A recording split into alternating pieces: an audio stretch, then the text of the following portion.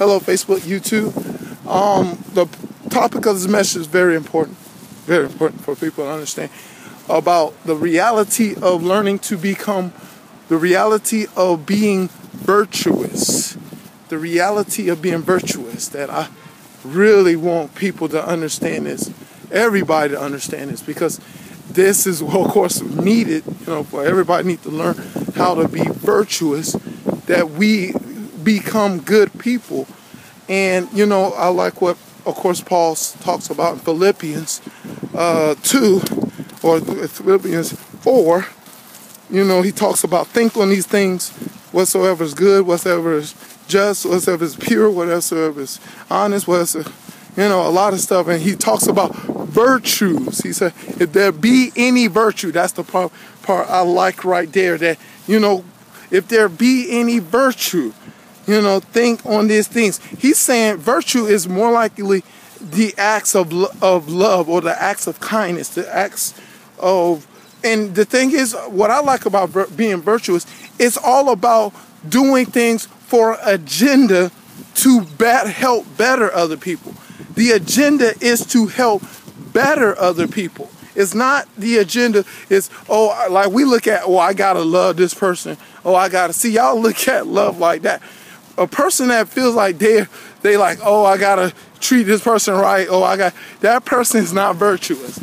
A person is virtuous. Understand that they're loving to help somebody to understand what true love is all about. That is a is a, a force agenda that you're trying to show forth a righteous uh, a do right, you know, do right to show them that you know in order for you to want things right, you have to do things right. You know what I'm saying? And it's this false illusion that I see people and the well the world system is trying to sell to y'all that y'all can be negative and think something good can happen, you know, out of come out of being negative or being uh treating people, saying bad things to people, treating people bad things, something good it can happen in spite of that, you doing being negative and stuff like this, and everything gonna be all right, is what the world system trying to help get y'all to believe, pretty much, trying to hurt y'all, not help y'all, hurt y'all to believe that, and y'all get disappointed and disappointed, disappointed. That when you keep negativity in you, you're gonna get the results of negativity, subtraction. You're gonna feel less of a person instead of better person. You know what I'm saying? But that's another message. But I want to talk about being virtuous. See, the thing is, being virtuous is when you you you're yielded yourself to understand that you must learn how to live life. You know, live of course the word of God, or more likely the fruit of the spirit.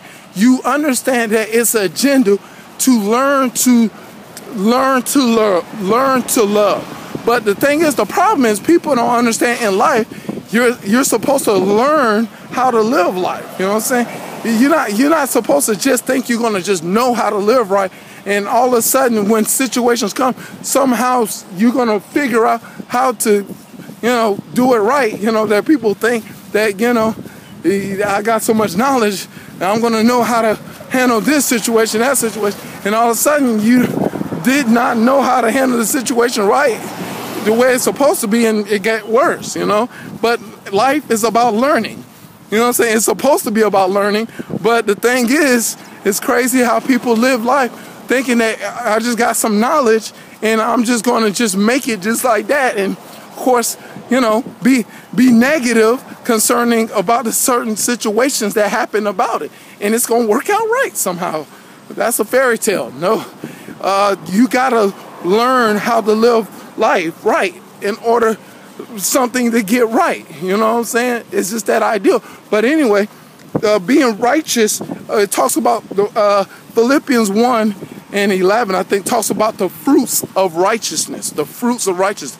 The reason why you are motive, what, what happens is when you learn the love of the, the fruit of the Spirit, or more like the fruit of righteousness, you learn that, it see, fruit is there to nourish you. It's, uh, it's there to nourish you, to give you the vitamins and minerals that you need to perform, you know, better as a person. The same idea aspect goes with the fruit of righteousness, the fruit of the Spirit. It's to nourish you, to give you the ability to perform, to perform love, to perform joy, to perform peace, to perform gentleness, to perform long suffering, to perform meekness, to perform uh, faith. You know what I'm saying? To perform if I miss one of them. Uh, you know, you perform. It's all about enhancing performance. And you're enhancing performance not just for yourself, but you're enhancing for everybody around you. You enhancing how to be a better person to um, show people that better people exist on the world. Because, of course, a negative and a lot of people think that everybody's majority of people are negative because, oh, of course, the world system is, you know, through their videos and radio is trying to think that everybody's all. And, you know, you can't trust this person, you can't trust that person. That's true to an extent, to an extent. But guess what? That doesn't mean that nobody, everybody's negative and you can't trust no one. No, it's that you need to start finding people that has good virtues, that show forth a good attitude, that you know, you know, trying to live life and understand that if if I want my life right, I gotta do right things.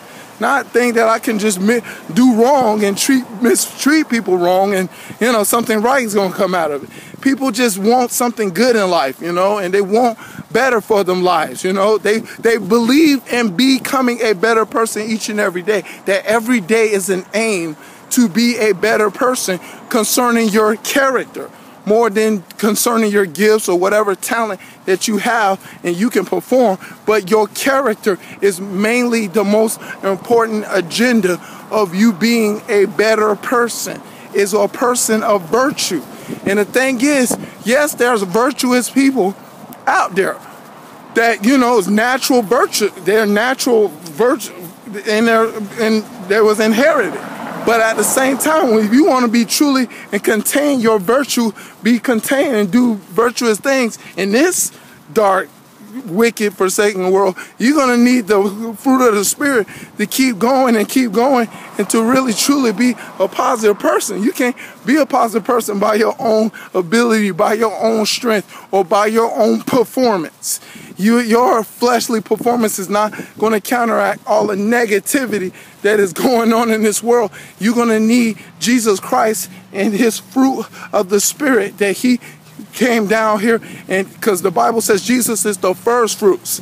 You know what I'm saying? Uh, in First Corinthians uh, 5, 15 and 23 talks about Jesus being the first fruit because everybody, you know, think they're, you know, these Christians think they're uh, more like Jesus Christ because they got the power of the Holy Ghost or they got the power of the healing and power of this and power of that. No, but Jesus, Paul said that, you know, he, Jesus going I mean, was something going to happen that Christ, his first fruits. See, it's about the fruit when it comes to Jesus Christ. It's not about your power and your ability, as you can see in Matthew 7, that he said, Lord, people will say, Lord, Lord, I did this in your name. Lord, Lord, I did that in your name. He said, Depart from me, you worker of iniquity, I never knew you. It's not about your power, gifting, and your healing ministry or whatever. It's about your fruit.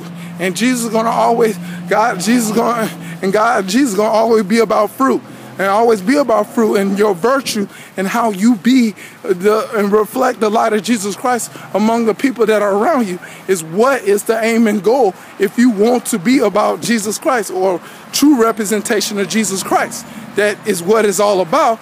But you know, everybody's thinking that because they can heal or they can sing or they can have these gifts and talent abilities, they are, you know, doing God a favor or something. They kind of see it that way. No, if you don't have the virtues of His love, joy, peace, gentleness, long suffering, meekness, temperance, faith, you're not in the game.